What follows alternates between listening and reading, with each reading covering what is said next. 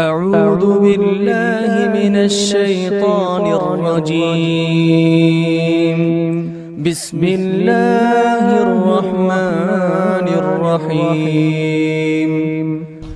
عن الذين لم يقاتلوكم في الدين ولم يخرجوكم من دياركم أن تبروهم وتقسطوا إليهم إن الله يحب المقسطين.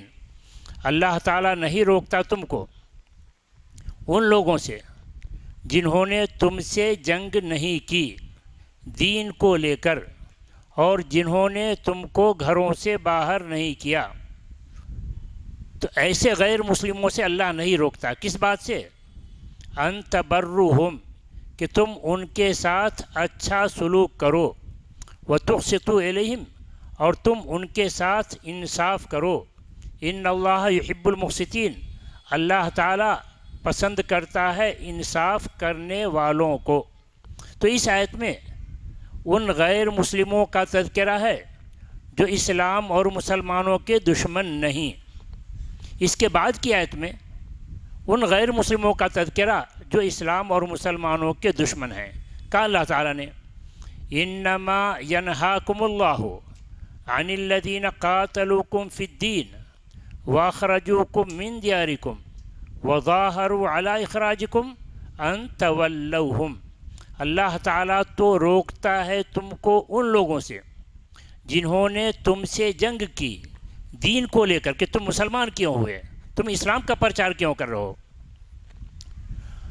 انما ینہاکم اللہ عن الذین قاتلوکم فی الدین واخرجوکم من دیارکم۔ اور جن لوگوں نے تمہیں تمہارے گھروں سے باہر کیا۔ وظاہروا علی اخراجکم اور جن لوگوں نے تمہارے نکالنے میں ان کی مدد کی، تو یہ تمہارے دشمن ہیں۔ ان کے بارے میں اللہ تم کو روکتا ہے۔ کس بات سے؟ ان تولوہم، کہ تم ان کو اپنا دوست سمجھو، ان کو اپنا دوست بناؤ، کہ دشمن کو دوست سمجھنا ہوشیاری نہیں ہے۔ دشمن کو دوست سمجھو گے تو نقصان اٹھاؤ گے۔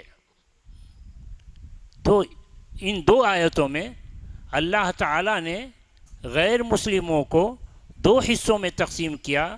کچھ غیر مسلم اسلام اور مسلمانوں کے دشمن نہیں۔ ان کے بارے میں حکم دیا کہ تم ان کے ساتھ اچھا سلوک کرو، تم ان کے ساتھ انصاف کرو۔ جو غیر مسلم اسلام اور مسلمانوں کے دشمن ہیں، اس کے بارے میں حکم دیا کہ تم ان کو اپنا دوست مت سمجھو، ان کو اپنا دوست مت بناؤ۔ تو پھر کیا کرو؟ جو اسلام اور مسلمانوں کے دشمن ہیں، ان کے ساتھ کیا کرے مسلمان؟ کیا ان کو ختم کرنے کی کوشش کرے؟ ان کی جان مار ڈالے؟ یا یہ کہ ان سے نفرت کر کے دور ہو جائے؟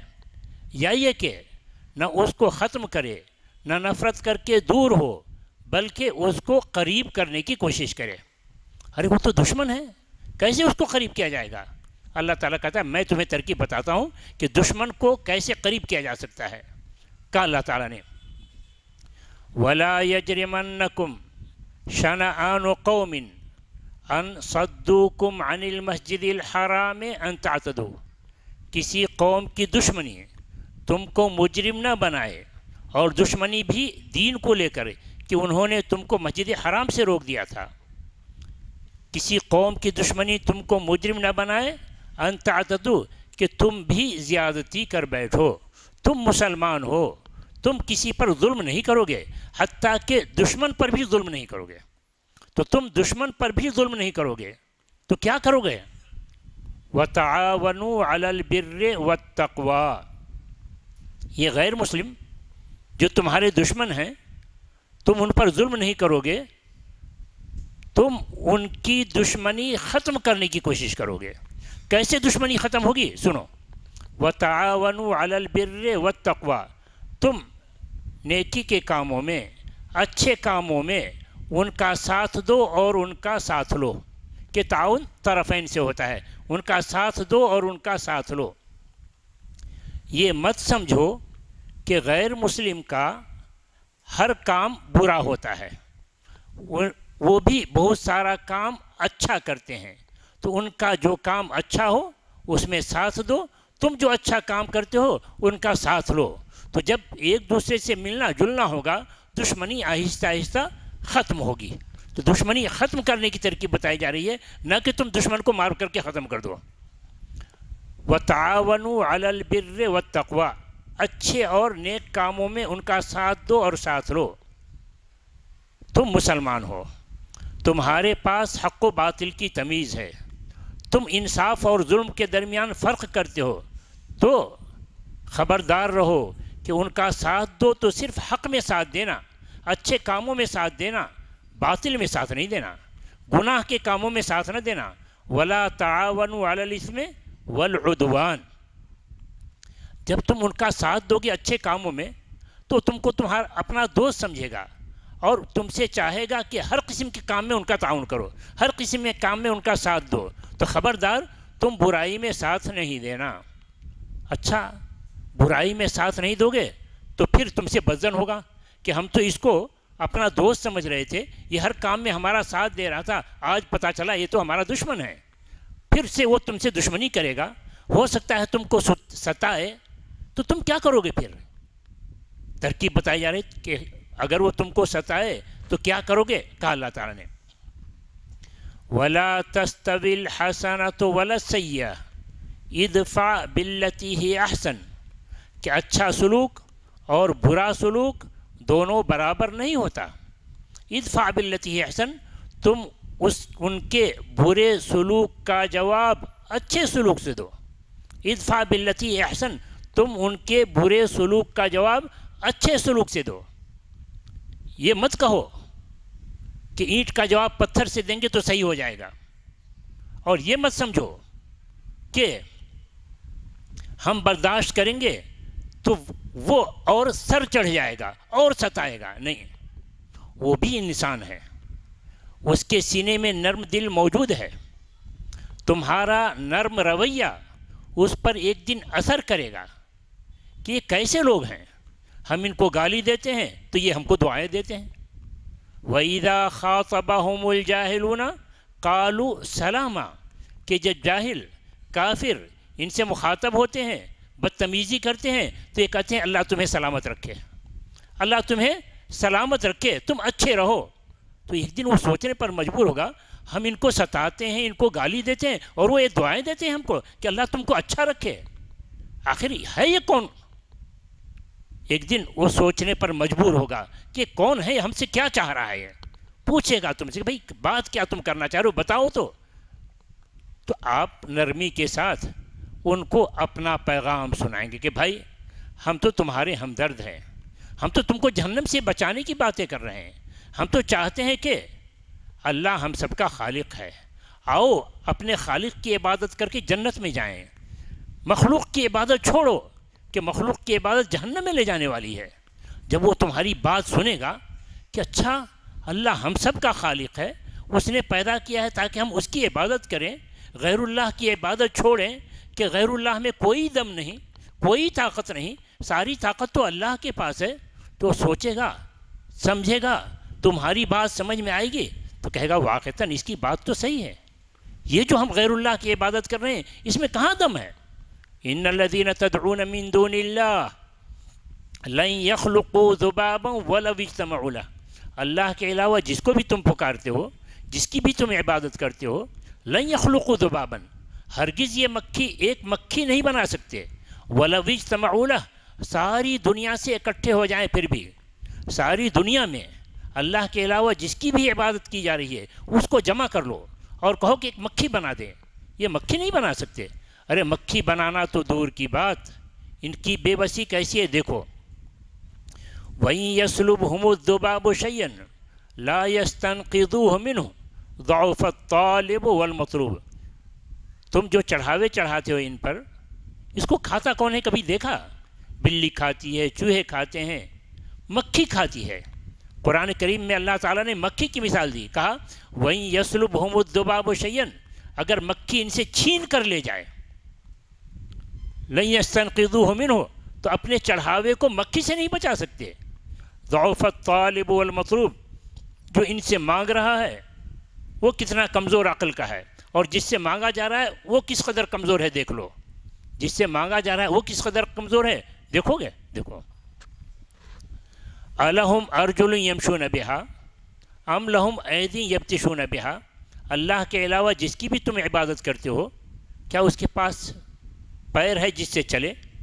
تم نے مورتی بنا دی ہے۔ تم نے ہاتھ بھی بنایا ہے، پیر بھی بنایا ہے۔ آنکھ بھی بنائے، کان بھی بنائے۔ مگر ہے کس کام کا ذرا سوچو تو۔ الحم ارجن یمشون بہا، وہ کیا اس کے پاس پیر ہے جس سے چلے؟ ام لہم عیدی یبتشون بہا، کیا اس کے پاس ہاتھ ہے جس سے وہ پکڑے؟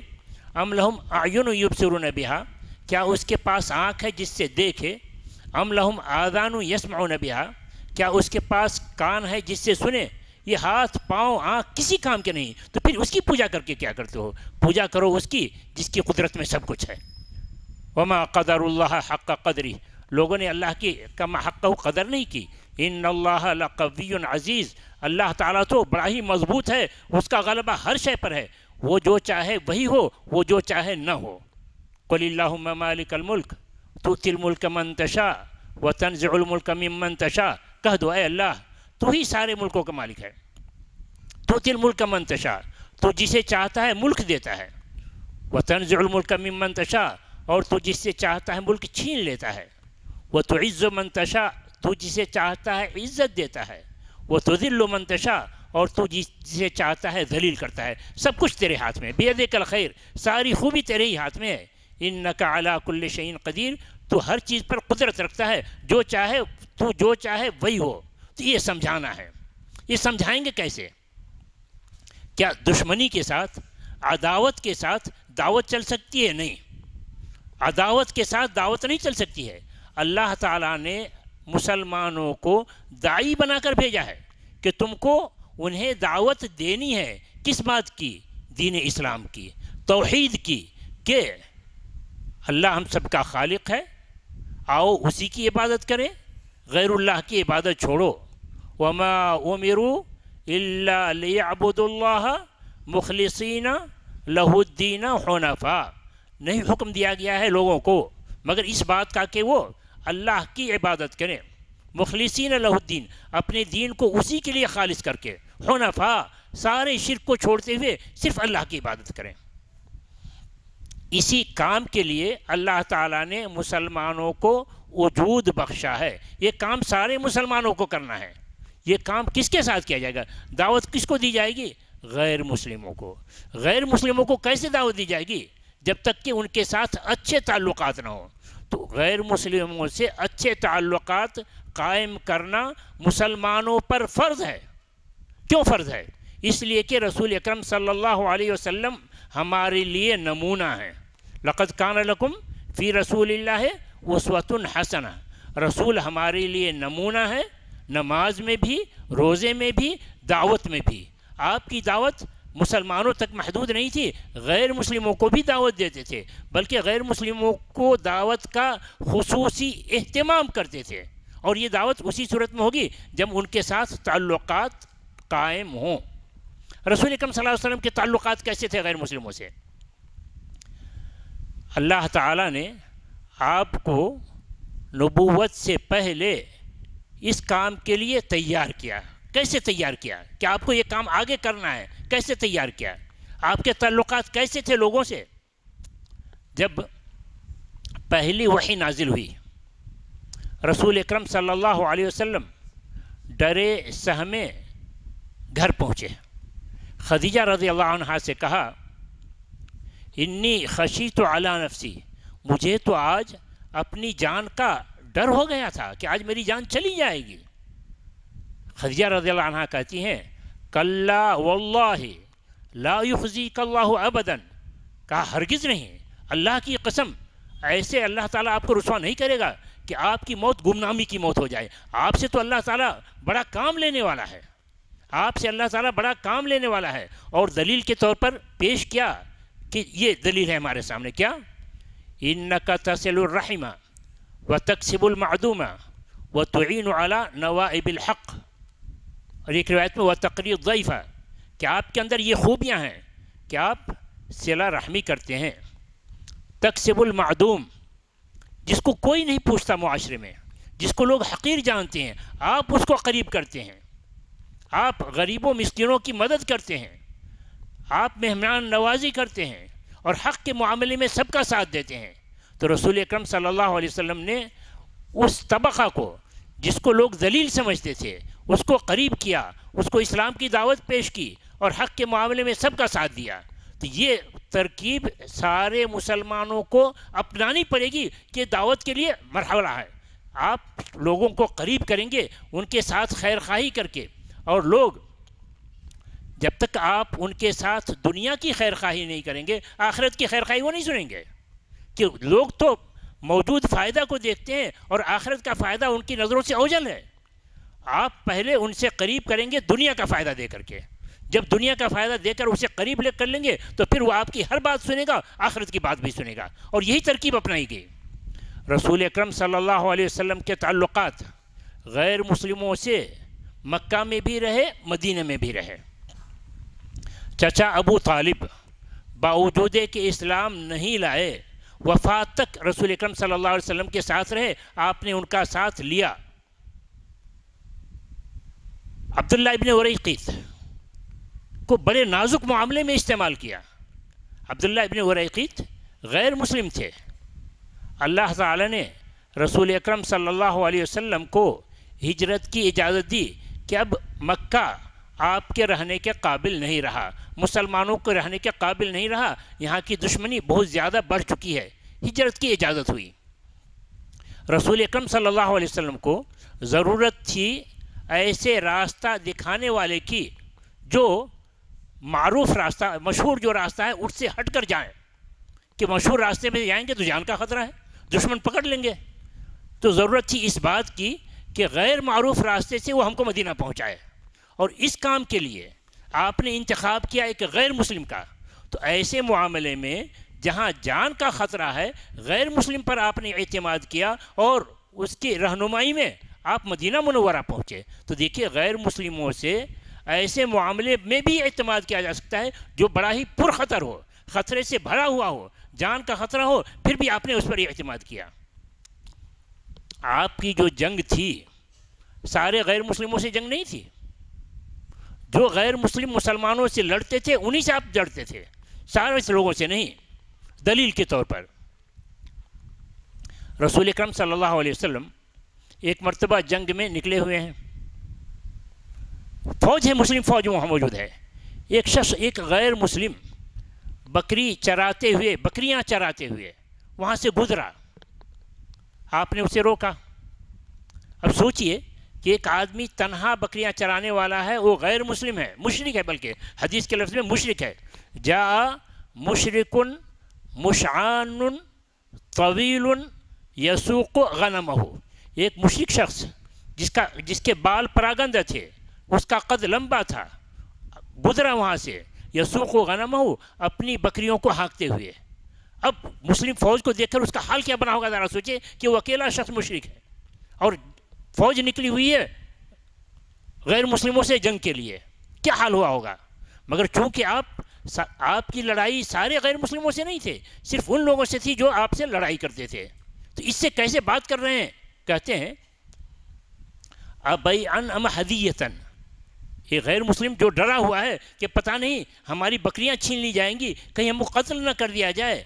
آپ اس کو اطمینان دلاتے ہوئے بات کرتے ہیں ابئی ان ام حدیتن بھائی، یہ بیچو گے یا ہدیہ دو گے؟ ذرا دیکھیے، ہدیہ کسے کہا جاتا ہے؟ جس سے پہلے سے دوستی، اسی سے تو ہدیہ طلب کیا جاتا ہے۔ اور یہ آدمی نیا آدمی ہے۔ اس سے کس لہجے میں آپ بات کر رہے ہیں؟ کس محبت کا اظہار کر رہے ہیں؟ ابئی انم حدیتاً جب یہ آپ کا جملہ سنا، اس کو سکون ہو گیا کہ یہ مارنے والے نہیں ہیں ہم کو۔ چنانچہ پوری جرت کے ساتھ اس نے کہا، میں بیچوں گا نہیں۔ ارے، میں ہدیہ نہیں دوں گا، میں تو بیچوں گا۔ سارا خوف ختم۔ کہتے میں ہدیہ نہیں دوں گا۔ یعنی دوسرا ہوتا، اگر یہ جملہ نہ سنا ہوتا معانست کا، اس کے ساتھ ہمدردی کا، تو ڈر کر کے کہتا، بھائی، جتنا لینا ہے لے لیجیے بس ہماری جان بخش دیجیے مگر جب دیکھا کہ کریں، ہدیہ دو گے کیا؟ ارے، اتنا آدمی تو کہا، نہیں، میں ہدیہ نہیں دوں گا، میں تو بیچوں گا. چنانچہ رسول اکرم صلی اللہ علیہ وسلم نے اس سے خریدا، اس سے خریدا اور کب؟ جنگ میں نکلے ہوئے ہیں۔ تو آپ کی جنگ سارے غیر مسلموں سے نہیں تھی۔ اسی طریقے سے ایک اور واقعہ ہوا۔ جنگی میں ہیں آپ۔ ایسی جگہ پر پڑاؤ ہے، ایسی جگہ پر قیام تھا جہاں قریب میں پانی نہیں تھا۔ لوگوں کو پیاس لگی، وضو کی ضرورت تھی، فجر کی نماز ہونی تھی۔ علی رضی اللہ عنہ کو اور ایک اور صحابی کو بھیجا کہ پانی تلاش کر کے لاؤ گئے پانی کی تلاش میں۔ ایک عورت ملی جو اپنے اونٹ پر سوار تھی۔ اونٹ پر اس کے دونوں طرف مشکیزیں یعنی پانی کا برتن لٹکا رکھا تھا۔ اس سے پوچھا، کہاں سے پانی لا رہے ہو؟ تو اس نے کہا احدی لہو بالام سے یہ تو میں کل اسی وقت چلی ہوں یعنی چوبیس گھنٹہ ہو گیا مجھ کو چلے ہوئے۔ ارے، یہاں لوگوں کو پانی کی ضرورت ہے۔ چوبیس گھنٹہ ہم جا کے سفر کر کے لائیں گے۔ پیاسے کیسے رہ سکیں گے؟ جانور کیسے رہے گا؟ انسان کیسے رہیں گے؟ پھر ہمیں نماز بھی پڑھنی ہے، کیسے ہوگا؟ چنانچہ کہا اس عورت سے کہ چلو چلو رسول اکرم صلی اللہ علیہ وسلم کے پاس۔ وہ عورت کہتی ہے، ایلا صابی، کیا اس شخص کے پاس جو اپنا مذہب چھوڑ چکا ہے؟ صحابی کہتے ہیں جو اپنا دھرم چھوڑ چکا، اپنا مذہب چھوڑ چکا ہو۔ دیکھیے، علی رضی اللہ عنہ نے صحابی کہیں ان کو غصہ نہیں آیا کہ ہمارے رسول کو تو صحابی کہتی ہے کہ مذہب چھوڑ چکا ہے، بے دین ہو چکا ہے۔ کہہ رہے ہیں، علی رضی اللہ عنہ جواب دیتے ہیں، هو الذی تعنینا ہاں وہی شخصیت ہے جس کو تم کہہ رہی ہو۔ وہی شخصیت ہے جو تم کہہ رہی ہو۔ وہ رسول ہیں، اللہ کے رسول۔ کہا، چلو، لے کر آئے۔ اس کے پانی کو اتارا، خود اس کو اتارا۔ پانی نکالا اور پھر اس پانی کو اسی میں واپس کیا۔ اللہ کے اللہ تعالیٰ نے رسول اکرم صلی اللہ علیہ وسلم کی اس عمل کو معجزہ بنایا کہ کہا کہ اس کو وسطو تم خود سیراب ہو اور اپنے اپنے جانوروں کو بھی سیراب کرو۔ سب سیراب ہوئے، جانوروں کو سیراب کیا، مگر پانی میں کوئی کمی نہیں آئی۔ رسول اکرم صلی اللہ علیہ وسلم نے اس کا مشکیزہ پانی جو بھرا ہوا تھا، اس کو واپس کیا اور کہا تعلمین ما نقصنا مما ایک شیئن۔ تم دیکھ رہی ہو کہ ہم نے تمہارے پانی میں کوئی کمی نہیں ہے، بلکہ تمہارا پانی جتنا تھا اس سے زیادہ نظر آ رہا ہے، دیکھو۔ اور اس پر کیا کیا؟ بہرحال احسان کہ اس کا پانی سبب بنا سارے لوگوں کے سیراب کرنے کا۔ اللہ تعالیٰ نے موجزہ دیا اس میں۔ تو اتنا احسان مند ہوئے کہ صحابہ کرام سے کہا، کھانے کے کچھ جام سامان جمع کرو۔ جمع کیا تو اتنا زیادہ ہو گیا کہ اونٹ کے دونوں طرف لٹ وہ سامان رکھا گیا اور مزید بچا تو سامنے رکھ دیا گیا اور کہا کہ جاؤ۔ وہ گھر پہنچی۔ گھر پہنچی تو ایک اندازہ تھا کہ اتنے فاصلے سے اتنے وقت میں پہنچ جانا چاہیے۔ لوگوں نے پوچھا، کہاں رہ گئی تھی؟ کہاں رہ گئی تھی؟ تو عورت جواب دے رہی ہے کہ یا تو وہ اللہ کے رسول واقعتاً ہیں، ورنہ اس دنیا میں سب سے بڑا جادوگر ہے۔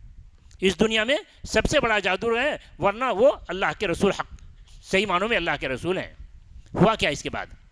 اس احسان کے بدلے رسول اکرم صلی اللہ علیہ وسلم آس پاس کی بستیاں جو کفار مکہ کا ساتھ دے رہی تھیں، ان پر چھاپے مارتے، ان سے لڑائی کرتے، مگر اس عورت کا تعلق جس بستی سے تھا، اس کو چھیڑتے نہیں تھے۔ اس کو چھیڑتے نہیں تھے۔ یہ عورت بڑی سمجھدار تھی۔ اس نے کہا، اپنی قوم کے لوگوں کو جمع کیا اور کہا، کیا تم سمجھ رہے ہو کہ اللہ کے رسول کی نظروں میں ہم نہیں ہیں؟ اللہ کے رسول کی نظر ہے ہم لوگوں پر، مگر ہمارے اس احسان کی وجہ سے وہ ہم لوگوں کو نظر انداز کر رہے ہیں۔ تو جو مذہب اتنا انسانیت پسند ہو، انسانیت کا اتنا احترام کرے کہ ہمارا پانی سبب بنا ان کے سیراب کرنے کا، تو اس کی وجہ سے ایک تو سامان اتنا سارا ہم کو دیا بدلے میں۔ ساتھ ہی ہم پر وہ احسان کر رہے ہیں کہ ہم کو نظر انداز کر رہے ہیں۔ کیوں نہ ایسے مذہب کو قبول کر لیا جائے؟ چنانچہ وہ عورت، اس عورت کی بات سنی گئی اور اس کے قوم کے لوگوں نے سب کے سب نے اسلام قبول کر لیا۔ تو یہ اسلام یعنی ہم یہاں یہ بتانا چاہ رہے ہیں کہ اسلام مسلمانوں کو یہ تعلیم نہیں دیتا کہ ہر غیر مسلم تمہارا دشمن، اس سے جنگ کرو نہیں۔ جو غیر مسلم مسلمانوں کے دشمن نہیں ہے ان سے جنگ نہیں کی جائے گی۔ کچھ لوگ یہ کہتے ہیں کہ یہ بات تو ابتدائی ہے۔ شاید آپ لوگ زیادہ وقت نہ دے سکیں۔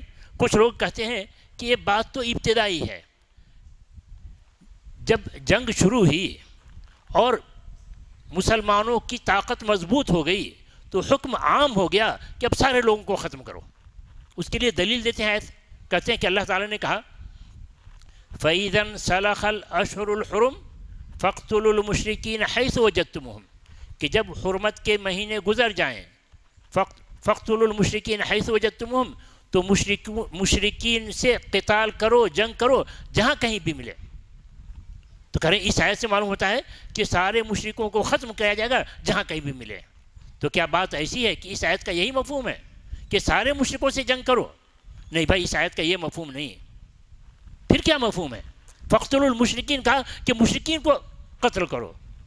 بھائی، یہاں المشرقین میں الف لام عہد کا ہے یعنی مخصوص لوگ جو تم سے جنگ کر رہے ہیں، انہی سے جنگ کرو۔ رہے وہ جو تم سے جنگ نہیں کرتے، ان سے جنگ مت کرو۔ کیا دلیل؟